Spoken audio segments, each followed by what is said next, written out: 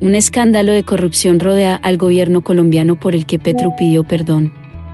Bogotá, el gobierno del presidente colombiano, Gustavo Petro, sortea un escándalo de corrupción en millonarios contratos que es investigado por la Fiscalía y la Corte Suprema de Justicia y en el que presuntamente participaron exfuncionarios, congresistas y un ministro. La investigación, que el juez tuvo una audiencia de imputación de cargos, apunta a contratos con sobrecostes en la compra de carrotanques por casi 12 millones de dólares que habrían sido concertados entre funcionarios públicos y empresas privadas para, de allí, obtener coimas. Con estas, la indagación apunta que se habrían pagado sobornos a congresistas que tenían en sus manos las reformas sociales del gobierno. Ante el Congreso en pleno, Petro pidió perdón el 20 de julio, durante la instalación de un nuevo periodo legislativo, por el caso de presunta corrupción en la Estatal Unidad Nacional de Gestión del Riesgo de Desastres, entidad que se encarga de atender las emergencias y dar respuesta a las comunidades afectadas. AP explica en qué consiste el caso de presunta corrupción, quiénes son los implicados y por qué ha impactado al gobierno. ¿De qué se trata el escándalo de corrupción? El escándalo de corrupción inició en febrero cuando la prensa empezó a indagar supuestas irregularidades y sobrecostes en la adquisición de carrotanques por cerca de 12 millones de dólares para llevar agua potable a La Guajira, un departamento con zonas desérticas y entre los más empobrecidos del país.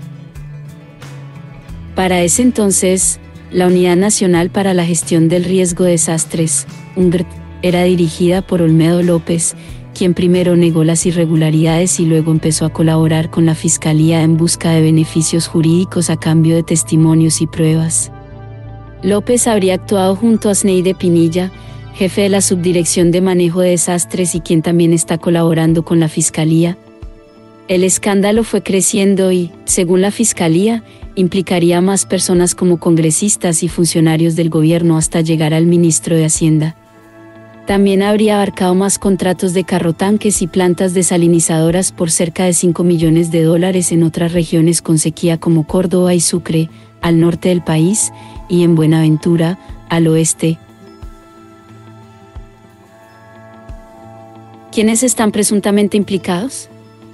La Fiscalía señaló a los dos funcionarios de la Unidad Nacional para la Gestión del Riesgo de Desastres y a un empresario de hacer acuerdos para generar una empresa criminal para cometer delitos contra la administración pública. Según la investigación, detallada en la audiencia de imputación de cargos del jueves, los dos servidores públicos acordaron entre julio y octubre de 2023 con Luis Eduardo López, dueño de varias empresas, el valor de coimas a pagar y la forma de simular la selección aleatoria de los proveedores. Con el dinero de esas sobornos, añadió la Fiscalía, Olmedo y López habrían entregado 3 mil millones de pesos, 744 mil dólares, al entonces presidente del Senado, Iván Name, y otros mil millones de pesos, 248 mil dólares, al presidente de la Cámara de Representantes, Andrés Calle. Nami y Calle han negado cualquier vinculación con el caso y asegurado que lo demostrarán ante la justicia. La fiscalía apuntó que el pago del dinero para los senadores habría sido una instrucción de Carlos Ramón González, entonces director del Departamento Administrativo de la Presidencia de la República. Mi inocencia es irrefutable, respondió González.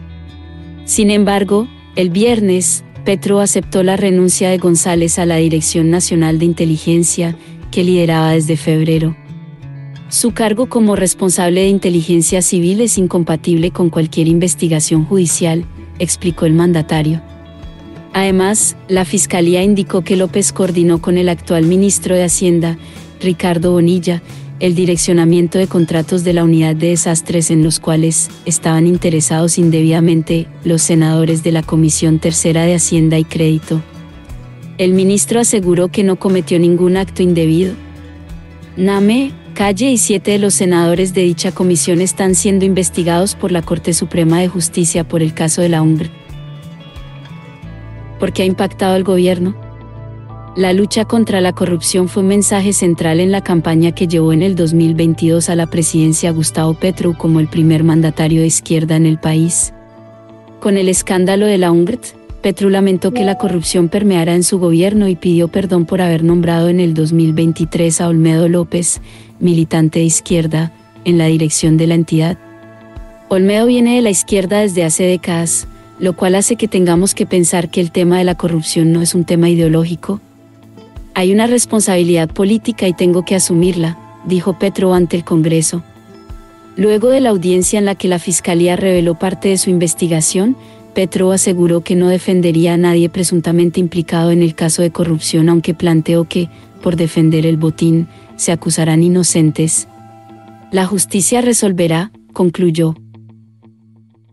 El mandatario también ha dicho que la corrupción en la UNGD es estructural y pidió a la Fiscalía investigar posibles irregularidades en gobiernos anteriores.